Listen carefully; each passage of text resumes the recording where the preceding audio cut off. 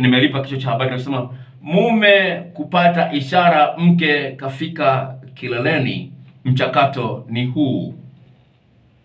Dokta anaitwa Frenki, umri miaka 23. Niliji, nilifanya seksi na mpenzi wangu akasema simridhishi. Mpaka wa leo bado anakubali kufanya mapenzi na mimi, lakini anasema bado simridhishi. Tena akaongezea anasema hanielewi, kwani mpenzi wake wa zamani alikuwa anahakikisha kila mara kwamba anafika kileleni. Nikamuuliza swali, je, wewe una tatizo la kuwahi kumaliza au ume mfupi au mwembamba au unaishia goli moja tu? Yeye akasema ni kweli, nina ume mdogo, naweza kufika goli mbili zote, nawahi kumaliza. uh, nawahi kumaliza. Akienda ananitumia meseji akisema bwana, hujanilizisha hata leo. Unaona, akisha pale wakimaliza kufanya mapenzi pale pale hamwambii, lakini akifika kule anamtumia SMS, bwana, hujanilizisha hata leo bwana, umeshindwa kunilizisha. Sawa sawa, naongelesha na swali lingine hapa. Sawa dokta, ndoa ina miaka tisa. Kumjua mke wangu amefika kileleni, je, ni mpaka apige makelele? Hali hiyo inajitokeza mara chache sana, lakini mara nyingi yupo kimya kimya tu hadi mwisho. Hii inamaanisha nini? Yaani mwanamke yuko kimya kimya. Mwanzoni alikuwa anapiga kelele, mwanamke yuko kimya. Nakumbuka kufanya mapenzi na mwanamke aliyekeketwa akapiga kelele, sawa, akapiga kelele. Huyu mwanamke alikuwa ameketwa, Eh, sawa, akapiga kelele. Sasa asubuhi akaniambia, asubuhi ananiambia hivi, Nelson, hivi usiku nilipiga kelele? Nikamwambia ndio, ulipiga kelele. Eh, Akasema ilikuwa tamu kweli. Anyway, haya haya mambo haya mambo yapo. Kwa hiyo sasa, uh, bahati nzuri, sawa, nimekumbuka jana tu nilikuwa na naangalia video fulani fulani, yani kuna kuna kuna kuna website ambazo nazitembelea, tovuti ambazo nazitembelea ambazo na na na na na, na, na mambo mapya mapya ya kuweza kujifunza. Sawa, kuna milio na kuna maneno ya kusema wakati mnafanya tendo la ndoa. Sasa yani kuna yani kuna yani hi- hi- hizo ni sauti tu zimetumwa, sawa? Hizo ni sauti tu zimetumwa, ziko ziko mtandaoni, sawa? Ni sauti tu zimetumwa.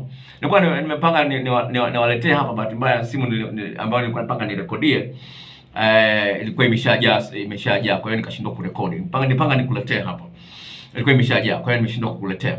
Yani sauti, yani anavyoongea yule dada mpaka dudu linavimba, yani kusikiliza tu yani.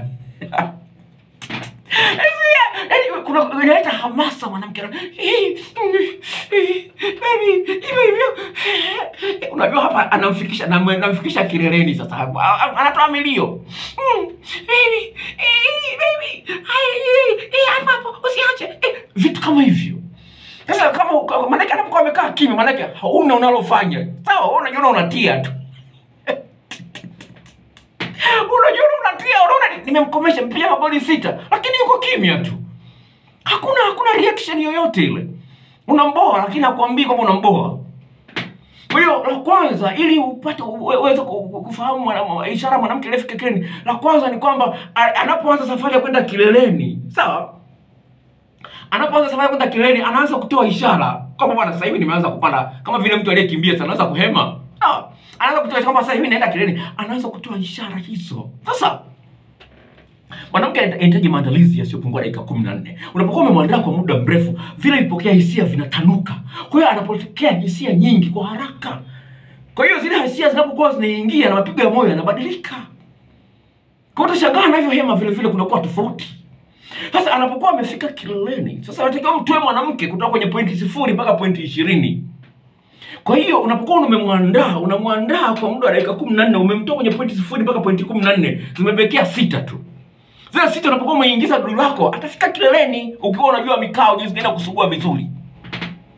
Sasa ukiwa na maumbile madogo membamba, utashindwa kusugua vizuri zile kuta za uke wa mkeo. Kwa hiyo hatapata msuguano wa kutosha, vile vipokea hisia vitapata habari, kwa hiyo hatafika kileleni, inakuwa unaboa. Kaka mwingine akanitumia message, nasema dokta, inakuwaje? Kwa mke wangu nawahi kumaliza kwa mwanamke mwingine nikienda pembeni nje ya ndoa nachelewa kumaliza, inakuwaje? Unaona, nikamwambia hivi, ume wako ni mwembamba. Kwa mke wako sawa unawahi kuma uh, sorry ume wako ni, ni, ni, ni mwembamba. Kwa, kwa mke wako unawahi kumaliza sababu mke wako maumbile yake yanabana vizuri. Unapata msuguano mwingi haraka uko huyo mchepuko uliouendea unasema una, una, una, unachelewa kumaliza manake unapwaya mpaka upate msuguano utoe cheche. Inachukua muda mrefu. Unaweza kuona anasema hivi kwa mke wangu kwa mzee wangu huwa anawahi kumaliza. Sasa mke wake uke wake unabana. Sasa ameenda kwa mwanamke mke umelegea hapati msuguano mwingi. Lazima atachelewa. Hii ni kliniki ya afya mapenzi. Nakupa ukweli ili ufanyie kazi. Sawa